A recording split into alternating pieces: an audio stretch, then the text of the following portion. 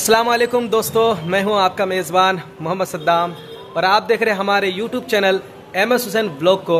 दोस्तों ये है गुलबर्गा का रेलवे स्टेशन और काफ़ी खूबसूरत है, साफ़ सफ़ाई के मामले तो बहुत ही स्पेशल है।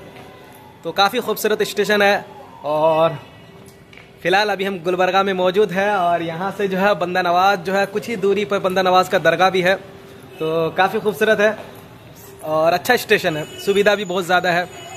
और स्टेशनों में तो लेकिन ये कुछ अच्छा है। बहुत अच्छा है। तेरा काफ़ी खूबसूरत है। और यहाँ एक से एक बड़े अल्लाह वाले हैं इस शहर में। बंदा नवाज़ है।